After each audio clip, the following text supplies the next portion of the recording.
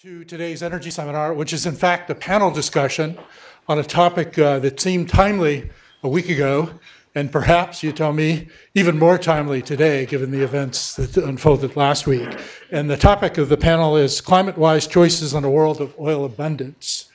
And uh, to introduce the panel, uh, we have our own very excellent uh, professor of energy resources engineering in the School of Earth, Adam Brandt. Adam. All right. Thanks, John. Appreciate it. Um, yeah, so we've got a we've got a, a, panel discussion today. It should be interesting and fun.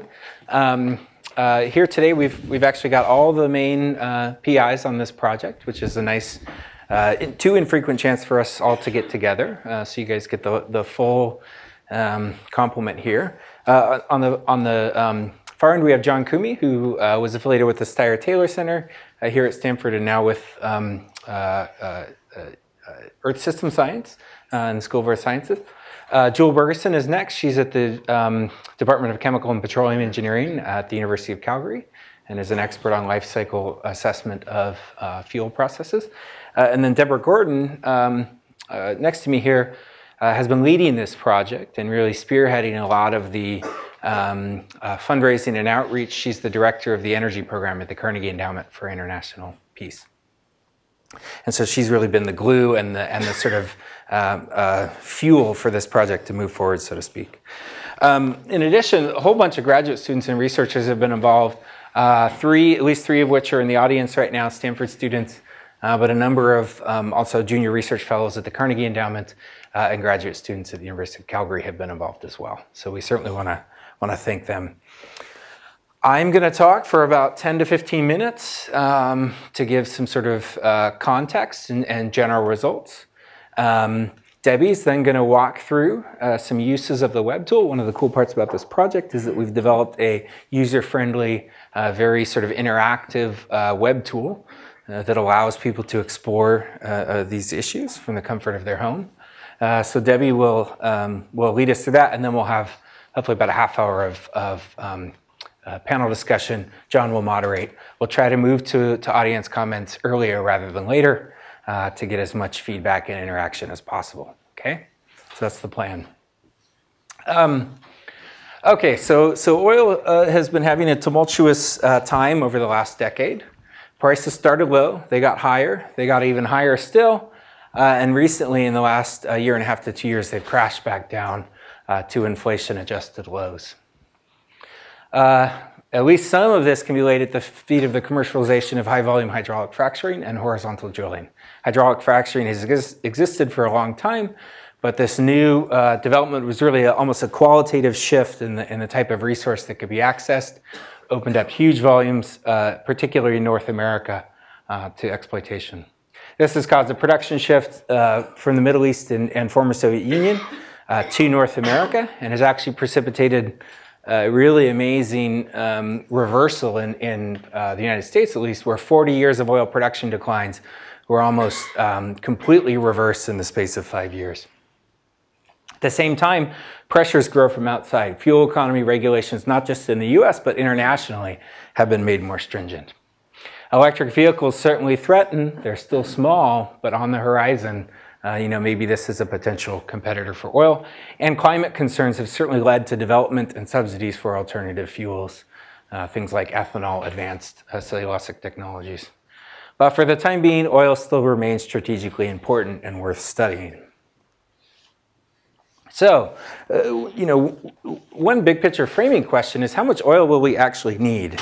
So this is um, uh, data from about 150 different countries around the world uh, production uh, of oil from 1900 uh, to the present here. And each, each country is a band. We can plot on top of that uh, uh, um, projections for the future. So my, my postdoc Mohammed was working on this. Uh, he's in the audience, I believe. We collected every projection from the IPCC 2000 scenarios. Um, um, uh, that, that basically met a screen to where they they still uh, seem to be valid with the historical uh, sort of um, trends that have happened since the year 2000. The brand new set of scenarios from 2016. Uh, every oil company projection, mostly from the major oil companies, uh, that we can find those typically go to mid-century, as well as government organizations such as OPEC, um, uh, IEA, EIA, et cetera. So you can see these make this whole sort of forest. Um, lots of people have ideas about what the future are. They don't necessarily align. Okay. One way to, to, to make sense of this sort of noisy picture is to actually accumulate. And cumul uh, accumulating the, uh, these um, uh, consumption volumes gives us cumulative oil consumption in a billion barrels and really smooths this historical trend and actually gives us a nice envelope of futures here. So all these messy, all this messiness here uh, arranges uh, more tidily.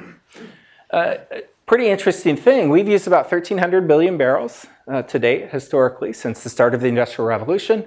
And consumption, even in the most optimistic scenarios, and we can talk about whether IPCC has scenarios that are really optimistic enough, uh, but even in the most optimistic scenarios, we're consuming about another trillion barrels, up to potentially five, uh, five trillion barrels. Okay? So how much oil do we actually have? So it's useful to plot against, this is the consumption side.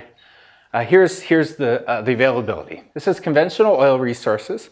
Already consumed is hashed here, so this is most of that historical consumption. These are current reserves from BP. And then three estimates of, of additional technically recoverable resources defined probabilistically from the USGS. So this is the low estimate. We're 95% likely to exceed that. This is a very high estimate. We're only 5% likely to exceed that. This includes reserve growth of existing fields plus undiscovered oil assessed last in 2012 by USGS. So we actually have a lot of, of uh, conventional oil left to be consumed. In addition, though, we've, we've got uh, what's called heavy oil. So heavy oil and bitumen I've, I've graphed together here. These are resources that are very dense and viscous, difficult to extract. Um, uh, and, and refine, uh, but available in large quantities. Already consumed is small. Here's reserves. And then three estimates of um, recovery factors at some indicative, um, uh, or three estimates of, of technically recoverable at some indicative recovery factors. That's been well known. These resources have been known for centuries in some cases um, and are largely being uh, produced in Canada and Venezuela uh, with additional production in, in California. The new entrant, though, is, is light tight oil. Light tight oil has only been produced really uh, in commercial volumes for the last five to 10 years, so very small amount of, of cumulative production. And reserves are uh, classified uh, inconsistently and unclearly at this point. However, the US Energy Information Administration has released a global report suggesting that global resources could be 400 billion barrels. Okay, What's really interesting though is you dig into the appendix of this report and you see that that actually is assuming a 5% recovery factor on an 8 trillion barrel resource in place.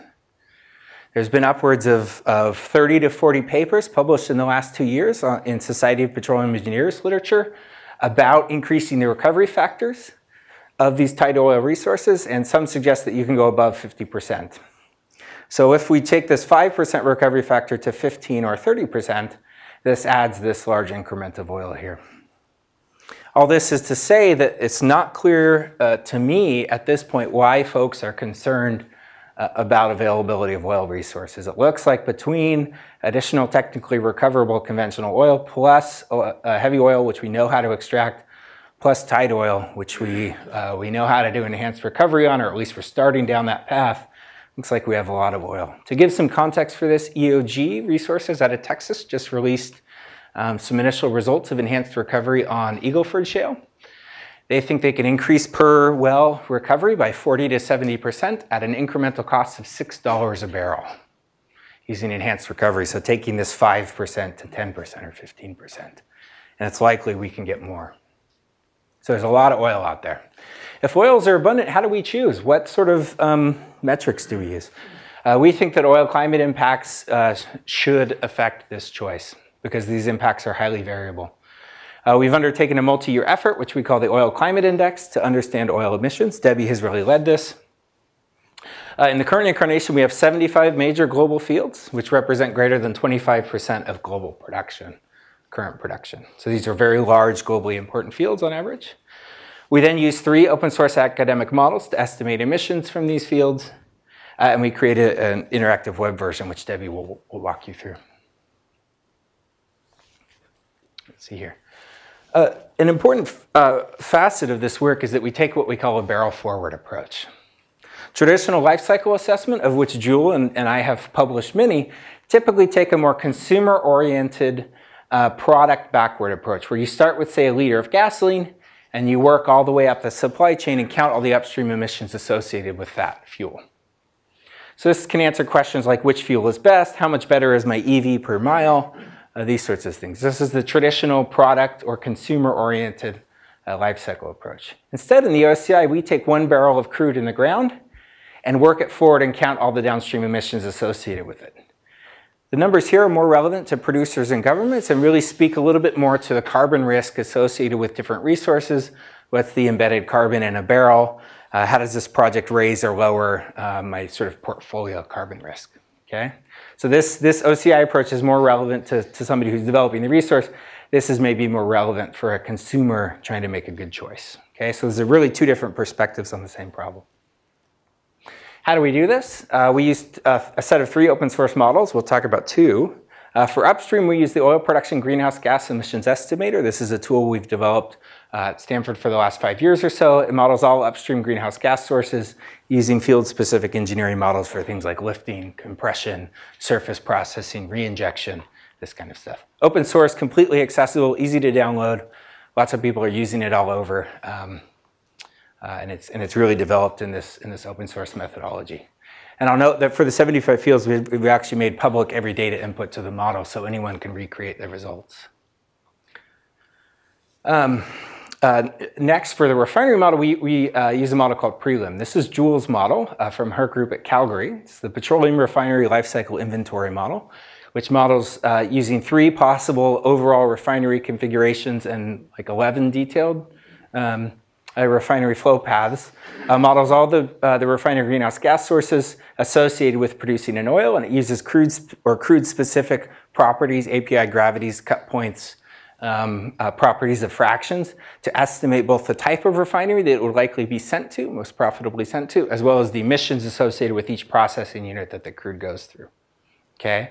And so the emissions from these processing units are a function of the crude properties, the volumes that go through each processing unit, et cetera.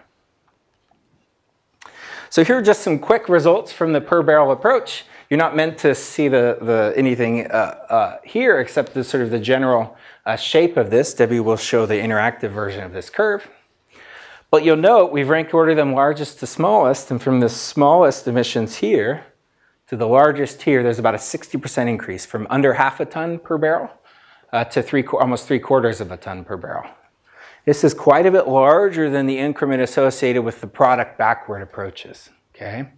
And this is for a variety of reasons that we'll, we'll uh, talk about there uh, later.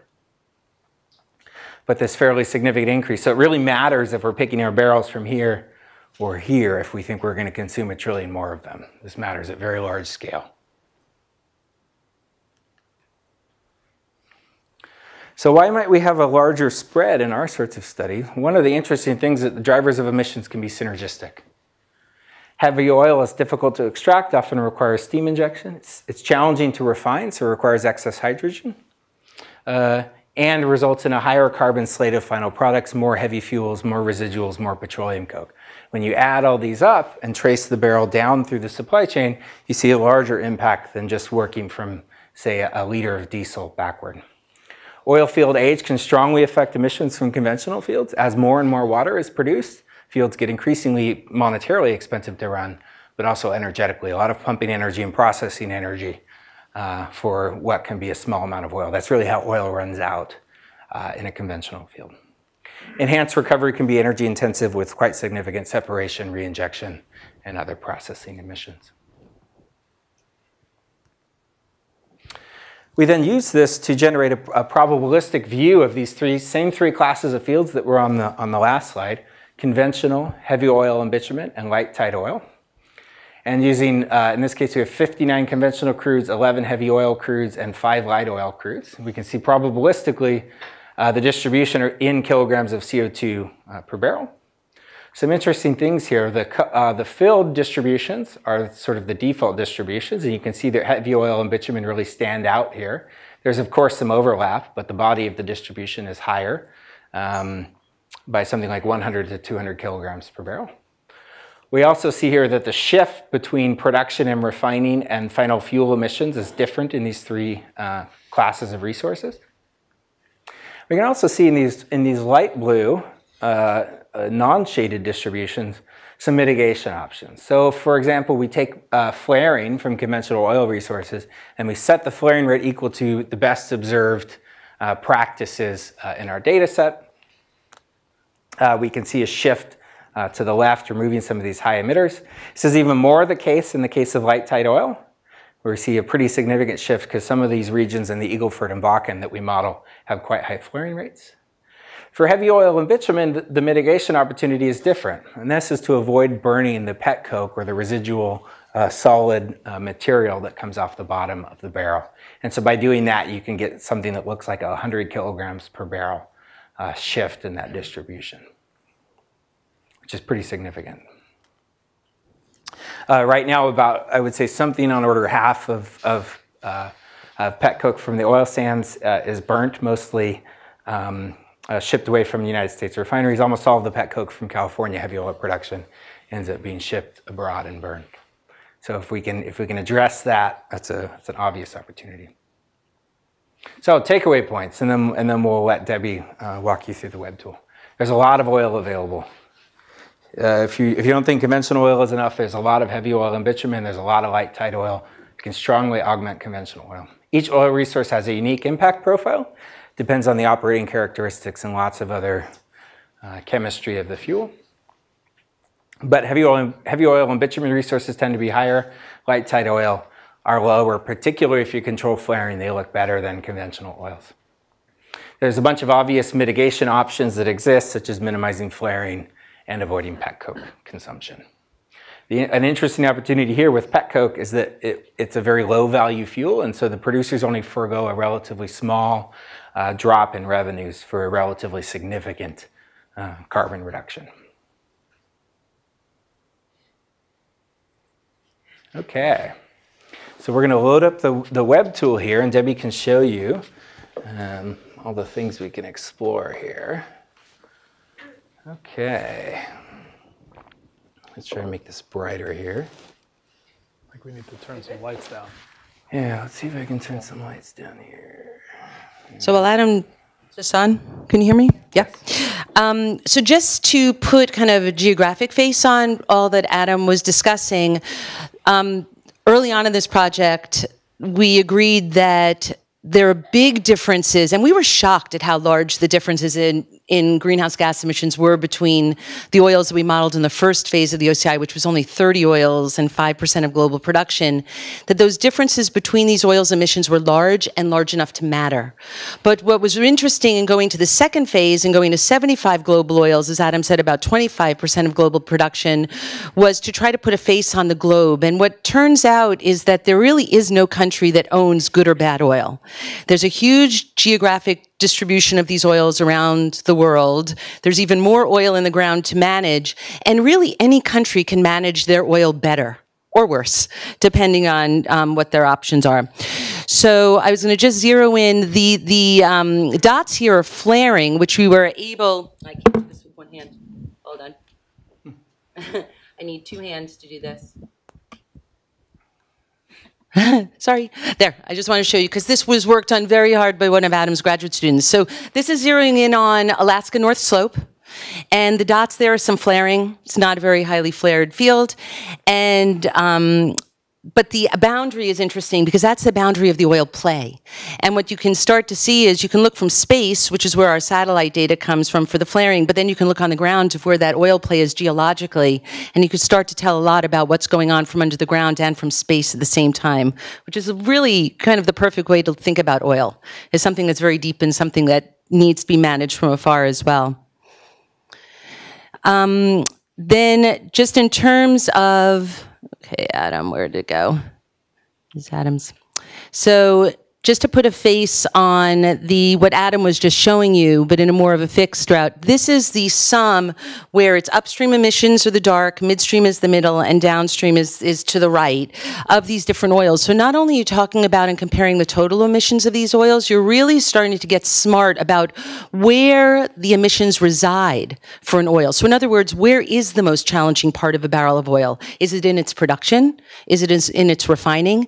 And when it's in its downstream, what are the products that will actually lead to its different emissions? So there you can see, and you can swap these around in terms of um, greenhouse gas emissions per megajoule of product. You can actually swap them around. I think this is a really interesting one. If you think that we knew, you know, types of oil and they were pretty homogeneous, you can see here different types of oil from conventional to ultra deep to watery to depleted to ultralight.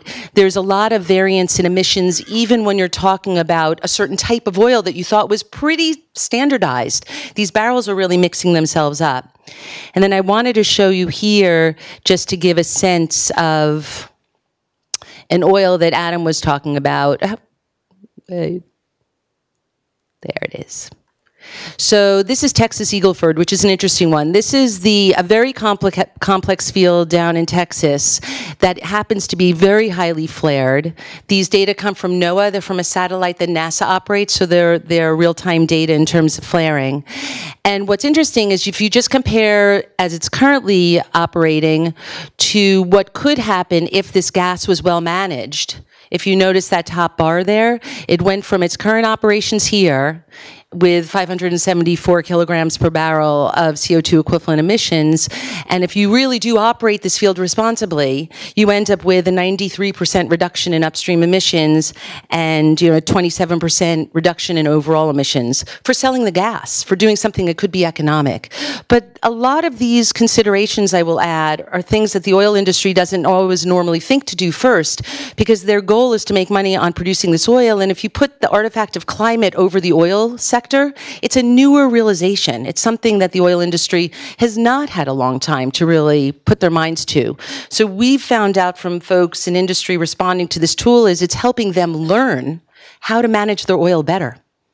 And a lot of folks in industry need to be taught how to think about a social consequence like climate change. And then the last thing I was just going to show you so we can go on is just to show you the capacity for innovation in this field. And first to say here, this is, um, you could plot these oils in different ways and learn about them. But what's interesting about this is that the default plot here is emissions, total emissions by API gravity of the oil. And API gravity of the oil, up until as conventional oils have been depleting, told you a lot of what you needed to know about the oil the economic value of the oil, how you would refine the oil, how you would handle the oil safely. Um, in many parts of the world, the gravity was defined by that part of the world. So that's why there is an American Petroleum Institute. API gravity was a very powerful characteristic of oil. But when it comes to greenhouse gas emissions, there's not a correlation. So it doesn't, it tells us a lot about what oil had been and how to manage it. But when you think about climate impacts, it doesn't tell us enough. And I think that's a really big problem for the oil industry right now because they don't really have necessarily the data at their fingertips. It's buried in their industry to help them manage these oils better. But there's a lot of innovation that can take place in these oils. And I'll just show you a couple that Adam was, was mentioning. And you could play with this. So if you, as Adam was saying, and look at the curve and start to watch some of these bubbles go down. So if you don't flare, you end up with emissions reductions. If you don't burn the in the heavy oils, the pet coke, you see a reduction in emissions. If you use concentrated solar to generate your steam, you see reductions in emissions. If you manage your associated water really, really well, you see reductions in emissions. And if you use the um, refinery fuel gas, LPG, in your operations, you see reductions. You can actually see the oil industry bending the curve on its emissions, which on face value might, might sound like compared to say renewables, not very much. But A, renewables aren't a great replacement for liquid fuels, but also B, when you talk about trillions of barrels, it adds up very, very quickly in terms of emissions reductions. So you can play with this. It's open source. Um, there's materials here that we've left, and feel free to take that at the end. And um, open it to you. Okay, so I want to ask just first one technical question and then one uh, institutional question, and then we'll move to audience questions. So the technical question relates to uncertainty. In each of the three parts of the model, the upstream, the midstream, and the transportation downstream side, there are uncertainties that affect those results. And I was hoping each of you could talk about the biggest factors in the uncertainty of the results for those sectors. Why don't we start at the extraction side? Oh, yeah, okay, yeah, so, yeah, that makes sense. We'll, we'll go with the value chain. So extraction is first. Um, we, we've written a couple papers looking at uncertainty analysis uh, in our model. My, my postdoc, Mohammed, is, is currently working on a, a, a very improved version of the model, which will include, uh, as a default, um, a Monte Carlo uncertainty assessment. I would say at this point, the largest uncertainty has to do with missing data. So what we call the front sheet of the model has about 50 characteristics of the oil field, its depth, its pressure, uh, how many wells they're producing, what's the wellbore diameter, lots of, uh, is the gas reinjected, is the gas sold, these sorts of things. Uh, often we're missing these data, in particular for global crudes, and so that's probably the biggest source of uncertainty right now is the lack of transparency um, around global oil sector um, activities. It's quite hard to get data on um, uh, oil production operations, especially in many of the developing countries and former Soviet Union regions. Um, and so uh, I, I, would say at this point, the, the biggest challenge, in fact, is, is that we don't have all the data that we'd like to have. Yeah, and I'll, I work on the refining side, and, and similarly, the data uh, availability is the biggest issue.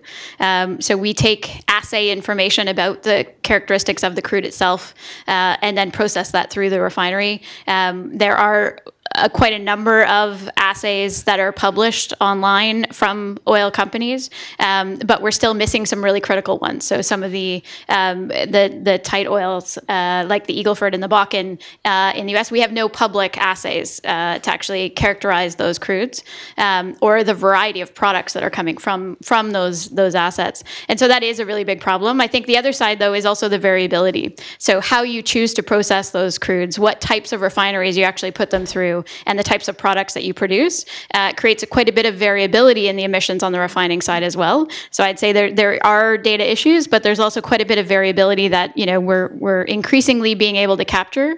Um, still limited by the data though. And um, Carnegie did the OPEM, the product module, and counter to maybe a lot of perception, the transportation of product around the world, despite the fact that products do really travel the globe, um, in, in often tankers that those emissions are actually relatively small. Obviously, on the downstream, the most, the largest emissions come from consuming the product. So um, the only thing I'll say about the transport, which is something that's very visible, and is of course after the Keystone Pipeline and the Dakota Access and a lot of infrastructure conversations, at least that we've been happening here, it's really the last mile in terms of moving product in trucks that become a really dominant factor in what the emissions will bear in terms of the downstream emissions.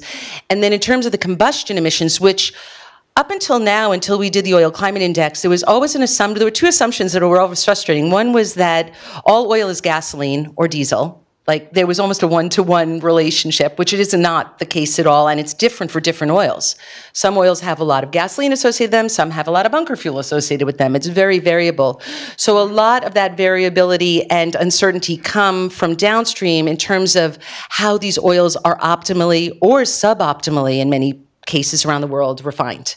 Because how much emissions come from the barrel, that the slate of products have everything to do with how you actually turn them into product in the first place. Great. Okay, so the institutional question relates to the opportunity that understanding the oil supply chain opens up.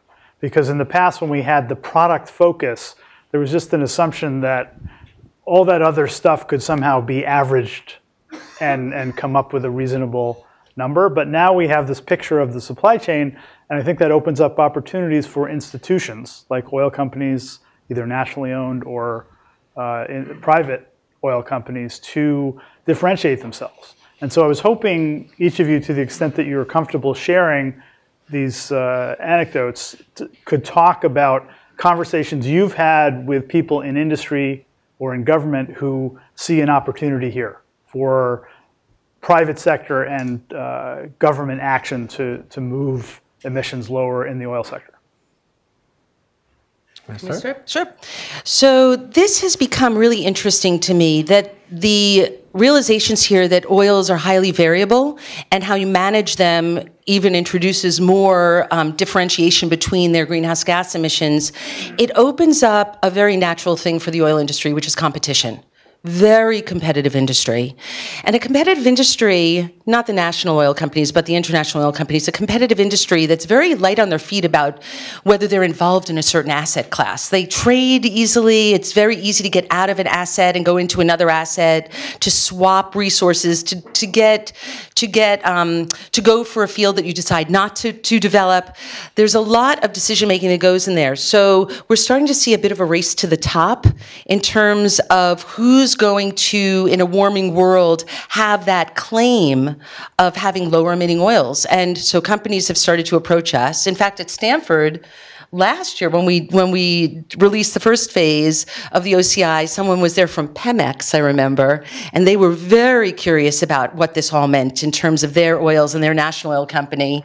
Um, recently, Adam and I are going to be going to Norway next month to talk to Statoil because they have all got a lot of questions about how they race to the top and they become the company with the lowest emitting oils. All this is to say that this race to the top creates a lot of innovative capacity in this industry. And that is a very good thing for an industry that's kind of over 100 years old and can be a little bit stodgy at times. Uh, yeah, so just, just to add to what to what Debbie said, this is this is really of interest to to a number of the producers. So we've been in contact with um, someone from Aramco, Saudi Aramco. This was interesting. They actually used our model with a with one of these proprietary global databases of you know every oil field in the world. And as it turns out, Saudi Aramco, if you run all these fields, comes in, um, and actually the other field, the other company he mentioned was Statoil, comes in way at the bottom. Very prolific oil fields, much less depleted than a lot of the fields in North America. Uh, quite easy to refine, high quality crudes. And so if you if you look on a company by company basis, they said, "Hey, holy smokes, we we we come out looking pretty good. Let's own this. Let's start to use this as a source of strategic advantage."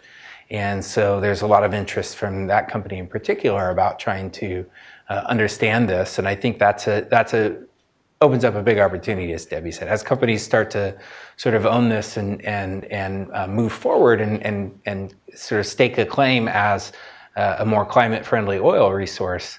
I think that's going to carry increasing weight going forward, regardless of what happens in the next four years or so. And I'll just make a quick comment about innovation as well. So, looking across the supply chain for innovation opportunities, uh, companies typically have a very good handle on the economics of those innovations and, and where they're going to see the economic value within their portion of the supply chain.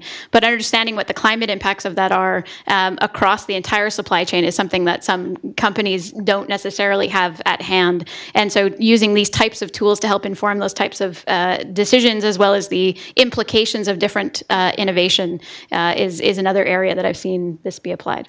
Okay, so for the first time, there's visibility into the whole climate impact of the whole value chain. And people, even who don't own everything from the production all the way to the, the sales, still will have some idea of what the total emissions are, and that's a new thing. Yeah. So, and, and I would note that it's it's it's not always straightforward what the best option is, right? So a big a big issue up in Canada has been on-site upgrading versus versus um, uh, shipping diluted uh, heavy bitumen, and there and there's back and forth arguments, obviously, about the economics. But what which choice is better for the environment is actually a, a reasonably complicated question that that Joule in particular has been spending a lot of time on. Yeah, and I was going to say another thing. Adam and I have spoken a lot about this. That this really benefits something way beyond oil. That if you really are considering these marginal oils and considering the their emissions calculus, you change the cost-benefit results of electrification of the transport sector or biofuels. Because if you're comparing those alternatives to average oil, which doesn't even exist, as Adam was showing you, that if you're comparing it to some sort of non-existent minimalist past, you're really undercounting the benefits of alternatives. So a more honest, full accounting of oils in their different states and the different options, both economically and environmentally, really changes the face of alternatives in a very positive way. Right, and the focus on marginal oils, the ones that are more likely to be developed yeah. in response to changes in technology and prices, yeah. gives you a different answer yeah. than if you look at average oil. And that's kind of the big picture takeaway from this work is that when you just look, you assume that oil is one thing or that oil products are one thing, you miss out on the potential for innovation throughout the supply chain. And that turns out to be a big omission. So with that, I think uh, we have about 15 more minutes, and so I'd like to turn to audience questions. I, I, would ask that if you ask a question, please first state your name, tell us your institution, and then ask a brief question so that as many people as possible can answer uh, ask questions. And we Jim. tend to want to get students first oh, too. Students but Jim, first. Jim, Sorry, you're, Jim. You're, a, you're, a, lifelong student, yeah. so. yeah. I, I, could you help me with I'll call it the math of the index. Here's what I'm trying to wrap my head around. Let's say you had two fields. One that is producing everything very efficient, no loss, but it produces a lot of the very heavy products, very carbon. The other is quite inefficient in everything down the line, but it's producing lots of light products, very little heavy products. Your index, I would guess, would show that the first one was was a worse oil because it has a more heavy product. It may or may not, depending on the numbers. But it, it, is that misleading given, given that there's a supply and demand and there's going to be a market for both the light and the heavy products? You sort of cook the books by uh, mixing the product mix along with the, the quality of the way it's processed? Yes, that's a very good question. I'll, I'll start on that. So, um, uh, heavier, oil, heavier, heavier oils tend to have larger emissions. They also tend to have more revenue of final product. So that's per larger per barrel. Larger per barrel. And so, yeah, and, and really, uh, you know, barrel is a volumetric term. What actually, you know, adds value are carbon and hydrogen molecules. And so de density there actually increases your emissions and increases your value.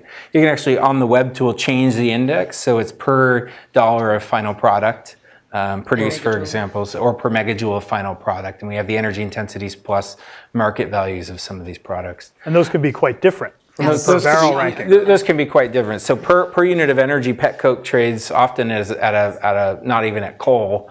Uh, it tends to be actually dirtier uh, than coal, higher sulfur, higher metal content. So it's actually even lower valued per BTU than coal.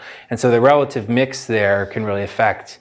Uh, you, you may get one ordering if it's per barrel, one ordering per uh, per dollar. I, I, would say that the per barrel approach is interesting just because it's a more relevant factor for people interested in thinking about ideas around stranded assets, valuing the assets of a, of a regulated region, um, uh, portfolios of companies, what they're invested in, this sort of stuff. So it's it's flipping it on its head. It doesn't tell you everything. Maybe in some cases you'd want to look at a, a final product oriented number like per liter of gasoline, and that might tell you more. But I, I do think the per barrel actually adds some um, nuance or a different perspective to the argument. Yeah, and I'll just add that I think you get around the problem that you're thinking about cooking the books because we're not just talking about total emissions. What you do is you look at the upstream and the midstream and the downstream components to those emissions. And so the upstream and the midstream are going to be where your inefficiencies, because those are operations in terms of energy in as opposed to carbon out which is what the consumption side is. So you can actually see for different oils, is this an oil that has 90% of, of its emissions in consumption? Some oils only have 60% of their emissions in consumption of final product, which says that there's a lot of room for improvement of how they actually deal with that oil and move it into product. So it opens up the door to understand your oil in terms of where its individual challenges lie. And, and I would note we've also we've also had a lot of discussions with with um, with folks about how to think about the pet coke market. And that's a really interesting question. So pretty large volumes of pet coke are being produced. It's a low value product. There's not really a central sort of um, WTI or Brent like clearing price for coke. It's sold in kind of bilateral contracts in a more ad hoc fashion. Um, there's real questions about, let's say we move to oils that produce less pet coke. What happens, right? Is more coal simply mined in China and India?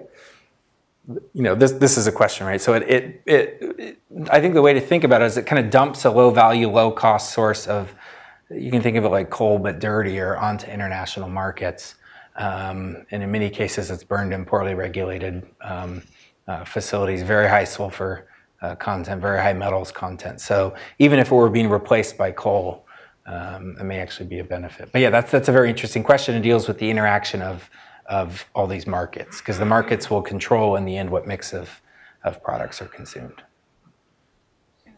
I can add quickly is the um, this is very much an attributional LCA, so it's sort of a snapshot of individual pathways. It's not necessarily a comparison of you know satisfying the demands of different products in a particular market.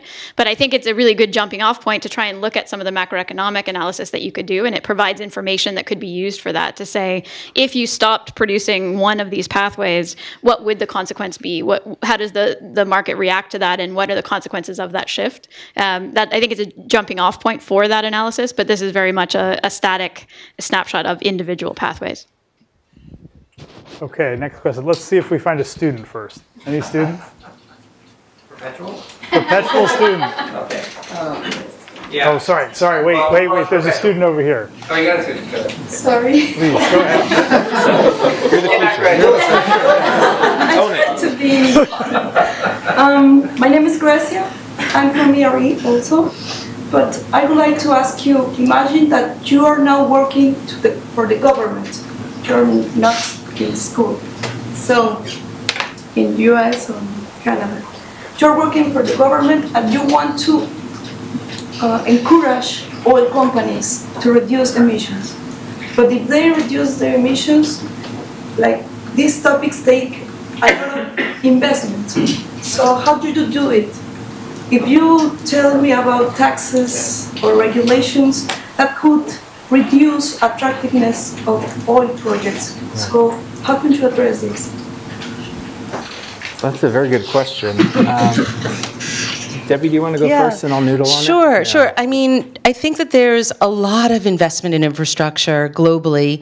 If you think about had this tool been available and had the concern for climate become Paris happened 10 years earlier, then questions of the US refining infrastructure becoming very dominated by cokers and heavy refining, it might have been a very different conversation. And had we found light tight, you know, had light tight oil happen earlier. So sometimes it's a little chicken and egg with this industry. But you can use this tool, had certain awarenesses happened a little bit earlier, I think we would have had a whole different investment direction than what we have right now. The same question that I raised when I testified before Congress about lifting the crude oil export ban, I asked them with this tool in hand, do you know what you're going to export?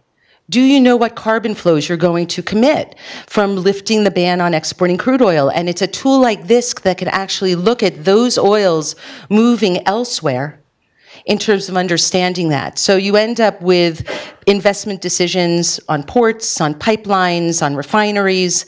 Um, I think that you need these kinds of questions if you're, as the title of the talk is, if you're going to consider oil in a warming world.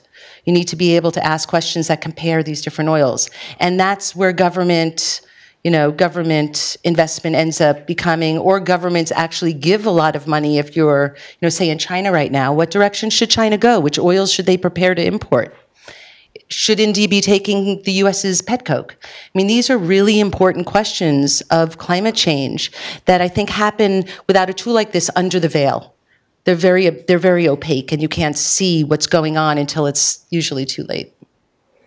Uh, um, real quick, I mean, there's, there's, a couple things going on. One interesting thing is that um, Oil has a very large value per unit of carbon compared to other fuel sources because it's, it's sold as essentially, at this point in history, a premium transport fuel in most markets. So if you look at carbon taxes that will have very high impacts on, let's say, the electricity generation sector, $50 a ton, would totally change the economics of your, of your, your, um, of your electric grid, would have quite small impacts um, here, right? Um, so this is an, this is one of the challenges in, in oil sector emissions is that um, it's not clear how to do this because it's not clear that a carbon tax uh, would be particularly effective at realistic levels, especially at current levels of carbon prices in, in California or in the EU. Carbon prices are definitely too low to have much effect on, on oil resource investment. Um, you know, th there, there are a couple examples of, of uh, jurisdictions or regions using these types of numbers to, to guide investment decisions. And so one, uh, one example is California, what's called the low carbon fuel standard is a regulation that aims to reduce the carbon intensity of transport fuels in California. And it's sort of sectioned off and carved out as its own regulation because of this issue of the ineffectiveness of a general carbon price in affecting transport futures. And so in that uh, regulation, crude oils of various types are scored, and actually there's given sort of a statewide baseline value of carbon intensity that companies can try and beat to obtain credits. And so that kind of approach um, with a carbon price, um, you know, is perhaps the best way to incentivize um, development. But you know, there, there, there's actually a lot of international action going on um, that didn't necessarily require a carbon price. So the, um, Oman, um, Petroleum Development Oman has invested in what's the, the largest solar thermal power plant in the world. It's one gigawatt uh, enormous solar thermal power plant to replace the use of gas in some of their heavy oil operations, which is one of the options we have there. And that's not really carbon price driven, that's value of gas, and they have a great solar resource and this sort of thing. But I, I think there's a lot of examples um, out there that are a bit one off, and it's unclear what the overall you know, regulatory framework should be. I'll just say quickly the Canadian example. So in in the case of the oil sands in Alberta, uh, the industry was actually much further ahead than the government until recently. So the government is moving forward with carbon pricing. Um, but the industry had already formed an alliance of companies where they're sharing IP to try and innovate and, and develop. They were very cognizant of the challenges associated with the oil sands and things like that already. So they're already moving in that direction. And we've seen some incremental benefits from that in terms of the innovation that's coming forward.